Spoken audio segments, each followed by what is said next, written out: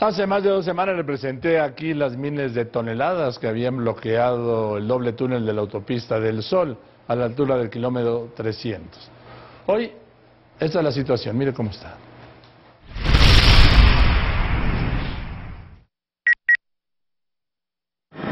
La autopista del Sol entre Cuernavaca y Acapulco estará abierta totalmente el próximo 11 de octubre, informó la Secretaría de Comunicaciones y Transportes.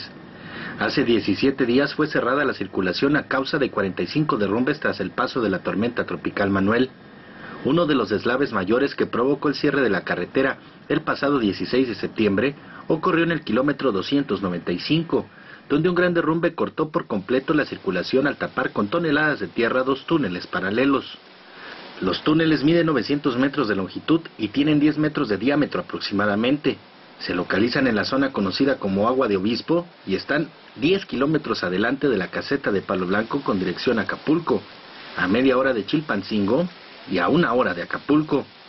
Realizamos un recorrido por el túnel del carril norte-sur con dirección a Acapulco. El techo del túnel ya fue reparado, pero aún se retiran toneladas de tierra y lodo que permanecen en el interior. Mientras que el otro túnel, de sur a norte, está tapado en su totalidad y maquinaria pesada trabaja para retirar el derrumbe. En el interior aún hay grandes rocas que son retiradas con maquinaria pesada. El carril es el... Está de aquí para allá y el de allá para acá. Los dos están tapados.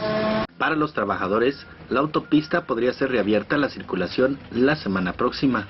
Desde el pasado 20 de septiembre, los vehículos que viajan por la autopista del Sol en ambos sentidos son desviados a la carretera federal México-Acapulco para evitar el deslave sobre los túneles de Agua de Obispo. Llanos y García Subillaga, Noticieros Televisa.